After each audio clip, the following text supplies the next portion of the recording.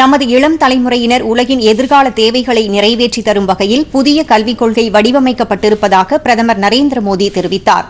இந்திய பல்கலைக்கழகங்களின் தொன்னூற்று ஐந்தாவது ஆண்டு கூட்டம் மற்றும் துணைவேந்தர்களுக்கான தேசிய கருத்தரங்கில் காணொலி காட்சி வாயிலாக கலந்து கொண்டு பேசிய பிரதமர் மறைந்த முன்னாள் குடியரசுத் தலைவர் சர்வப்பள்ளி ராதாகிருஷ்ணனின் கனவுகளை நிறைவேற்றும் வகையில் புதிய கல்விக் கொள்கை வரைவு செய்யப்பட்டுள்ளதாகவும் கூறினார்.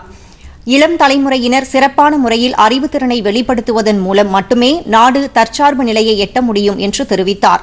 இளைஞர்களின் அறிவுத்திறனை அதிகரிக்க செய்வதற்கான அனைத்து நடவடிக்கைகளையும் நாம் மேற்கொள்ள வேண்டும் என்று கூறிய பிரதமர் நாட்டின் பல்வேறு இடங்களிலும் இளைஞர்களுக்காக திறன் பயிற்சி மையங்கள் ஏற்படுத்தப்பட்டிருப்பதாகவும் தெரிவித்தார்.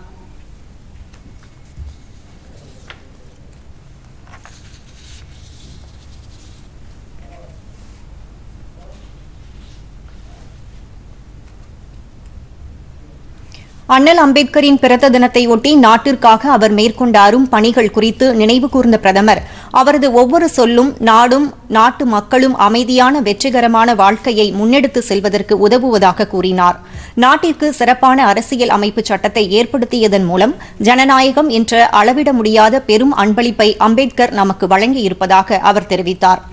அறிவு சுயமரியாதை மனிதநேயம் என்று மூன்று கொள்கைகளின் மீது பெரும் நம்பிக்கை கொண்டிருந்ததாகவும் அவரது வாழ்க்கை நம் அனைவருக்கும் சிறந்ததொரு பாடம் எனவும் புகழாரம் சூட்டினார் और शील यानी नॉलेज सेल्फ रिस्पेक्ट और पोलाइटनेस जब नॉलेज आती है तभी सेल्फ रिस्पेक्ट भी बढ़ती है सेल्फ रिस्पेक्ट से व्यक्ति अपने अधिकार अपने राइट्स के लिए अवेयर होता है और इक्वल राइट से ही समाज में समरसता आती है और देश प्रगति करता है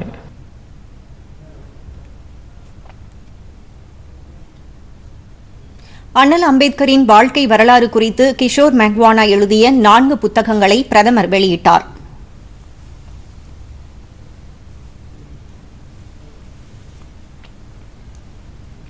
இளைஞர்கள் இந்த புத்தகங்களை நிச்சயம் படித்து பயன்பெற வேண்டும் என பிரதமர் கேட்டுக் கொண்டார்